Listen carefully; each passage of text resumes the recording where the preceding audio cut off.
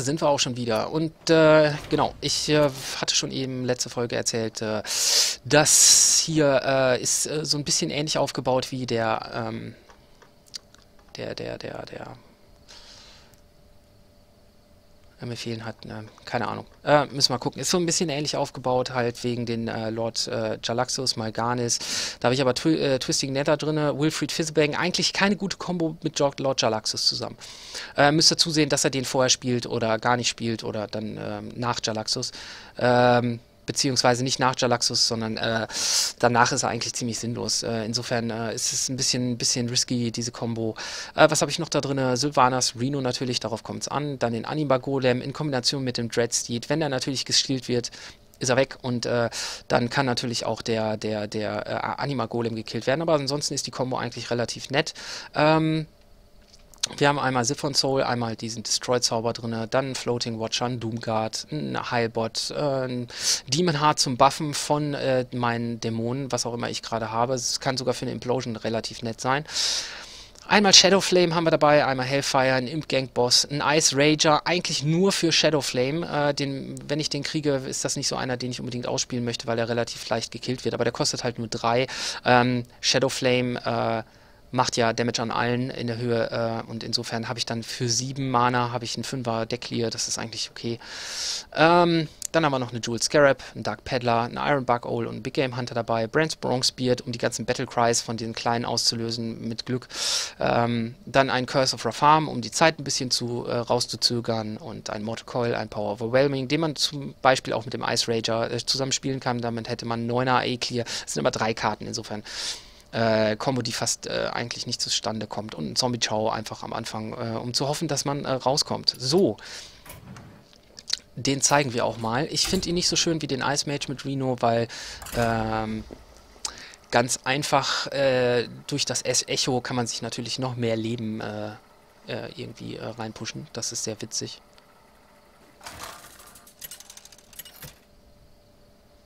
Also sprich, ne, erst Reno legen, dann Echo von Mediv und man hat Reno nochmal auf der Hand und kann sich nochmal voll heilen. Ist eine tolle Sache. Geht hier leider nicht, aber hier gehen ein paar andere Dinge. Und zwar, dass man nämlich äh, nicht in Probleme kommt. Man muss relativ wenig Card mit, mit dem Hexer drin haben, weil man hat ja seine eigene Heldenfertigkeit. Wird äh, viel interessanter beim Inspire-Deck, äh, wenn man die Karten halbwegs in Reihenfolge bekommt. Was auch sehr witzig sein kann mit dem, mit dem Warlock.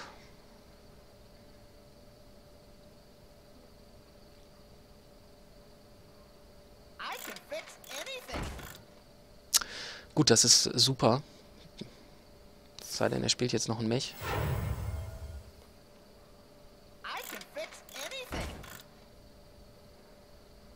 Ist immer noch super. Schauen wir uns mal, was wir für eine Karte kriegen. Flying Machine finde ich ziemlich mies. Äh, Tauren Warrior ist auch ziemlich mies. Äh, also der Questing Adventurer, aus dem kann schon eine ganze Menge werden. Klar, man kann den stillen und so weiter, aber es ist eine Dreierkarte, die vielleicht irgendwann gestillt werden muss.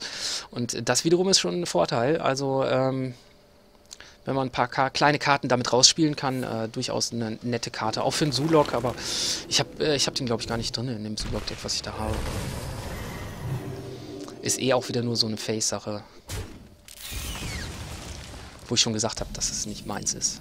So, was kriegen wir? Wir kriegen einen Dreadsteed. Den können wir gleich mal spielen, obwohl wir den nicht brauchen. Es wäre eigentlich netter gewesen, hätten wir irgendwas Sinnigeres gekriegt, aber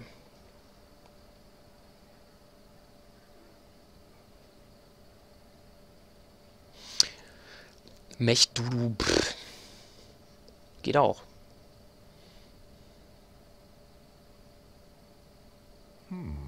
Aber der hat halt nicht so schöne Karten, die damit äh, irgendwie äh, kombinierbar sind. Klar, der hat seine Mechkatze, aber finde ich jetzt auch nicht äh, berauschend, wenn ich ehrlich bin.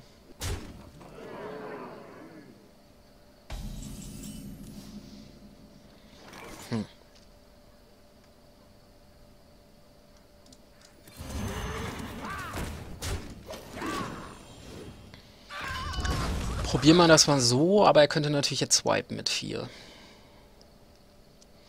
Würden aber trotzdem noch zwei stehen bleiben.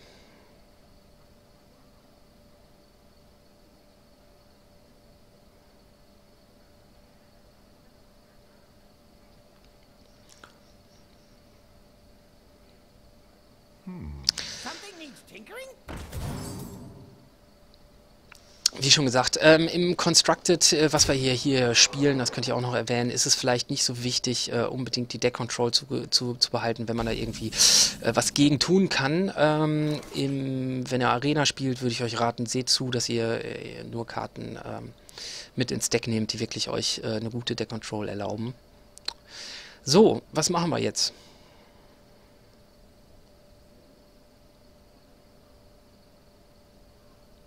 Ich denke, wir spielen diese Kombination hier.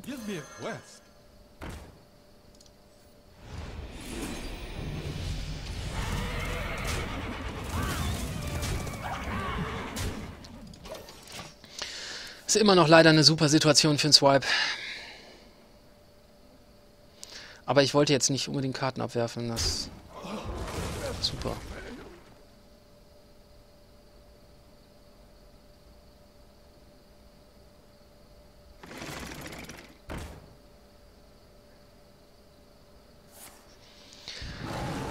Hm. Ah, also Mech, Mech-Dudus sehe ich echt nicht oft.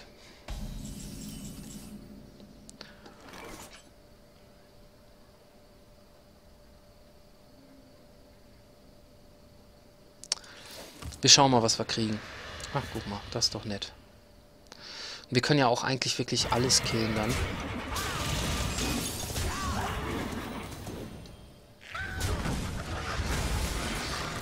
Können wir mal schauen, was wir kriegen.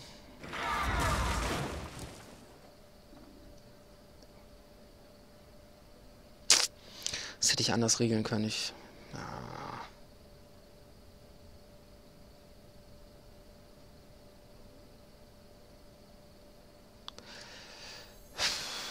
auch wenn es nicht das Weiseste ist, was ich jetzt tue, weil eigentlich sollte man den nur, das sage ich von vornherein, normalerweise sollte man den wirklich nur ausspielen, wenn man ähm, wenn man ähm, wirklich auch irgendwas damit casten kann. Äh, aber mir geht es darum, ich will jetzt wirklich noch, noch gucken, ob ich eine Karte kriege.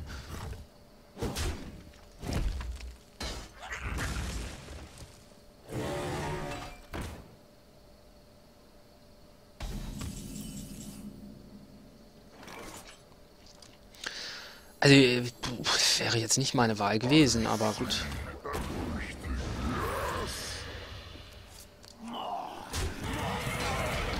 Hat er erstmal sein Problem damit, aber ich ähm, hm. hätte gern noch Reno. Das wäre super. Dann hätte ich so ein bisschen Absicherung, weil ich sag's mal so, ab 9, 9 Mana könnt ihr damit rechnen, dass euch ein Dudu 14 Damage reinhaut. Äh, halt mit der Trend-Combo und dem Ansturm, aber ähm, also diesem, diesem Buff Wildes Gebrüll ist das, glaube ich. Wildes Gebrüll ist das, glaube ich. Äh,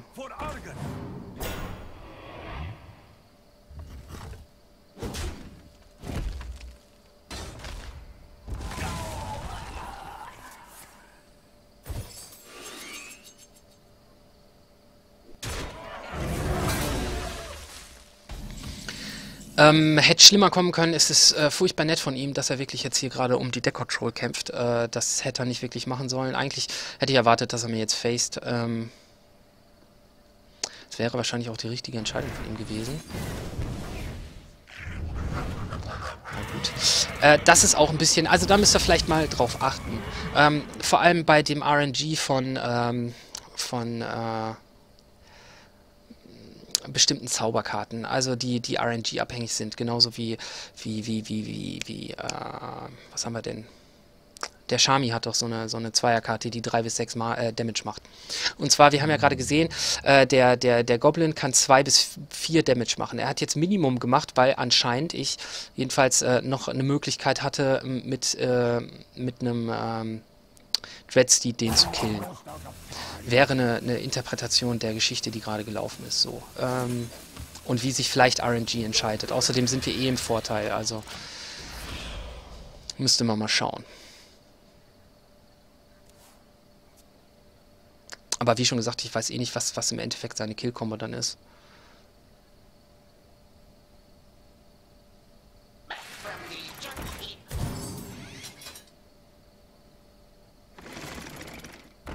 Den Curse-Behälter. Macht mir auch keinen Put.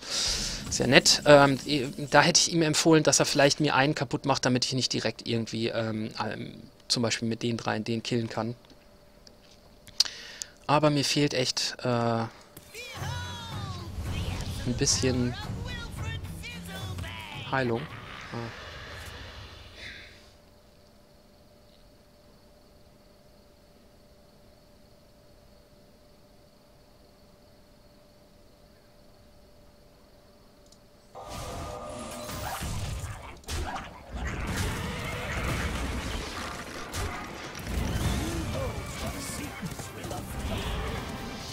Ja, ich auch Brand Bronzebeard habe ich jetzt einfach so rausgespielt, damit ich vielleicht die Deck Control behalte. Oder, ja. Übrigens sehr gefährlich mit dem Doomguard, da müsst ihr aufpassen, dass er den nie spielt, nie, nie, nie, ne? Battlecry ist das und, äh,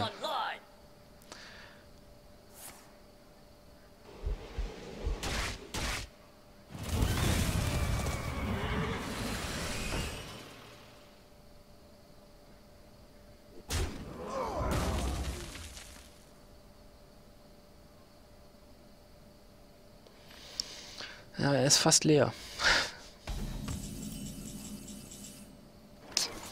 Ja, gut. Ähm, damit haben wir ein bisschen Sicherung. Aber wie schon gesagt, ich weiß nicht, was der für eine Kill-Kombo hat.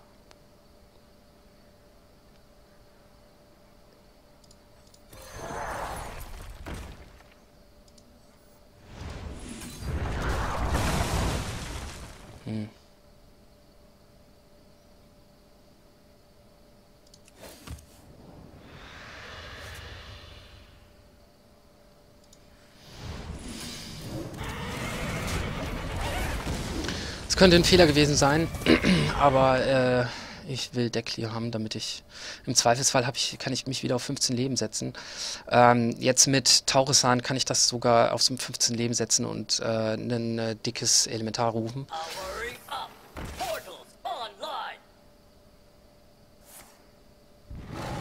Kann auch äh, erst ihn wegmachen und dann Taurisan.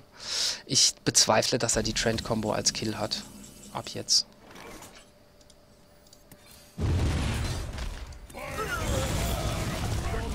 Der hätte ich auch vorher mit dem angreifen können, aber gut, ein Damage wird jetzt nicht über den Sieg oder die Niederlage entscheiden.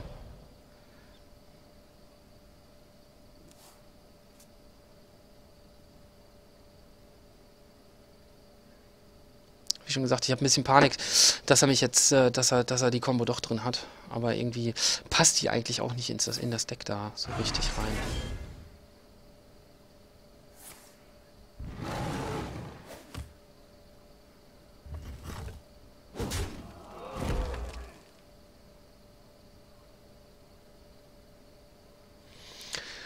Na, wie ihr seht, auch äh, ohne Reno Jackson können wir mit, mit diesem Mix-Deck eigentlich äh, relativ lange noch durchhalten. Ähm, ich werde jetzt äh, mal ähm, mich wieder heilen, einfach auf, auf Nummer sicher gehen.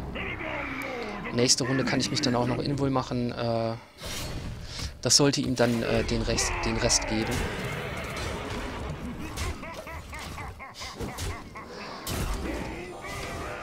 Ach, er ist so süß.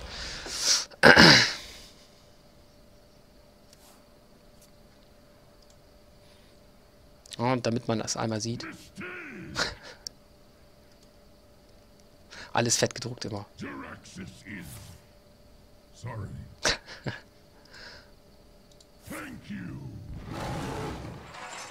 Auch wenn man mich jetzt für einen Troll hält, ich mache das einfach nur, damit man mal äh, sieht, was der, was der Jalaxus alles so von sich gibt. Ist total witzig, der Typ.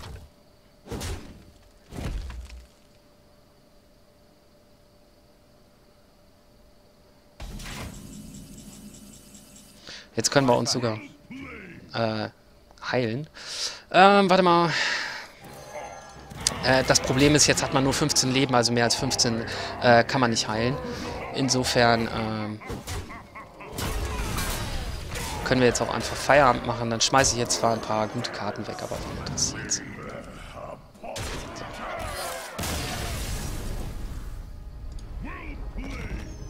So, auch ein ganz äh, witziges Deck, wie ich finde, aber ähm, da Reno rauszukriegen, äh, äh, muss, man, muss man halt sehen, dass man das vielleicht äh, vor, vor Jalaxus macht, damit man auch noch wirklich die vollen Lebensenergie äh, ausnutzt. Ähm, gut. Das dazu, äh, nächstes Mal Sudek. Bis denn, adios.